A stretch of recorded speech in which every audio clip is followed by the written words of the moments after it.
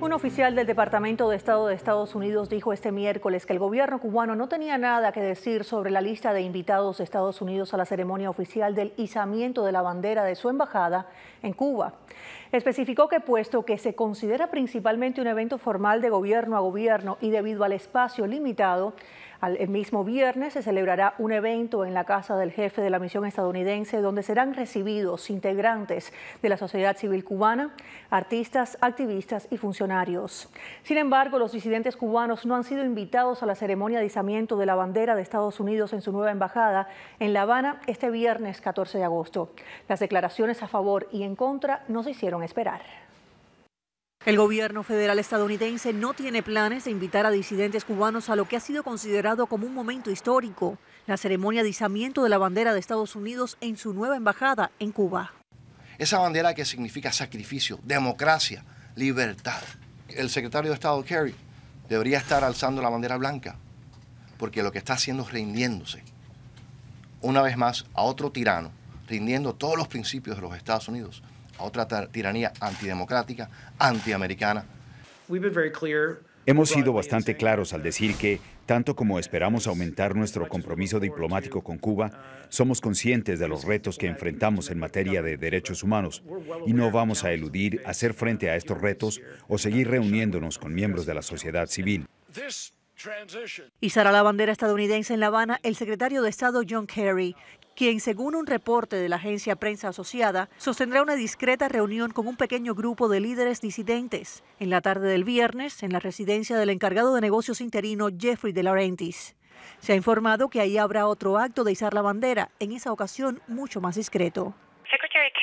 El secretario de Estado Kerry planea reunirse con una amplia gama de representantes de la sociedad civil durante el día. No tenemos información específica sobre con quiénes de la sociedad civil se reunirá, dijo la vocera del Departamento de Estado de Estados Unidos, Angela Cervetti, en conferencia de prensa. El gobierno cubano considera a sus opositores como mercenarios traidores al servicio de Estados Unidos. Si nos respetan, respetamos. Si no nos respetan, no podemos seguir con esas relaciones. Y además, ellos tienen relaciones con muchos países, sin embargo tienen diferencias. Pero la pregunta ahora es, ¿no es Estados Unidos quien decide a quienes invita o no a su embajada? Lo importante de esto es que le tienen tanto respeto en la administración de Obama al régimen sadístico de, de Castro que no quieren insultarlos en invitar a unos disidentes. ¿Irá Kerry a felicitar a Fidel Castro mañana por su cumpleaños? No lo sabemos todavía, aunque no me sorprendería. Todo ocurre luego de que el pasado 20 de julio se realizara en Washington la reapertura de la embajada cubana, tras más de medio siglo de ruptura diplomática entre ambos países. Bueno, yo creo que el régimen invitó aquí a todo el que quiso. Esperemos que también el gobierno eh, norteamericano sea consecuente con su historia, con sus principios y que invite a la oposición cubana.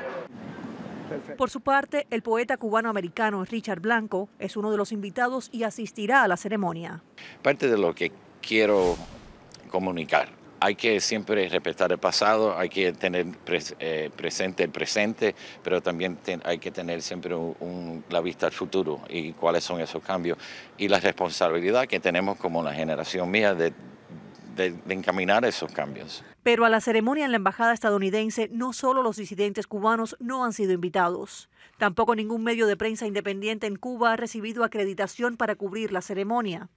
Entre otros, se encuentra el caso del periodista independiente Iván García, quien en este artículo relata que desde el 22 de julio ha llamado una docena de veces a la agregada de prensa y cultura de Estados Unidos en La Habana para solicitar una credencial que le permita cubrir el evento para Diario Las Américas, el periódico de Cataluña y Webstringers LCC, y no ha sido atendido por ningún funcionario. Sino sobre esa gente Tampoco la periodista Joanny Sánchez, directora del diario digital independiente 14 y medio, ha recibido respuesta hasta el momento.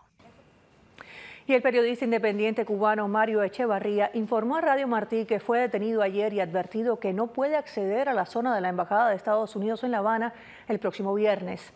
Tampoco ha sido acreditada parte de la prensa internacional interesada en cubrir el evento. Entre tanto, ya se ha dado a conocer que entre los activistas cubanos que participarían en la reunión con John Kerry posterior a la ceremonia oficial del izado de la bandera se encuentran entre otros Berta Soler, Elizardo Sánchez, Miriam Leiva y Antonio Rodiles.